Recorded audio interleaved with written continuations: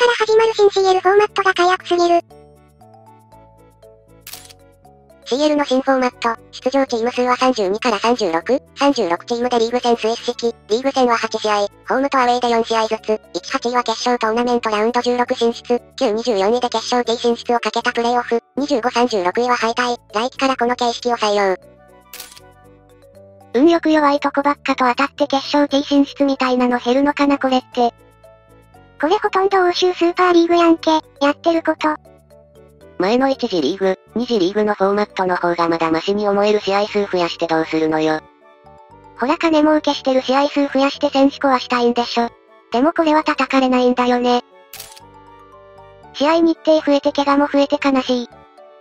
お金持ちクラブで選手層が厚いクラブがめっちゃ有利になってソシエダみたいなスタメン固定の予算が少ないチームには相当不利なルールだな。これでまた怪我人が増えまくるわ。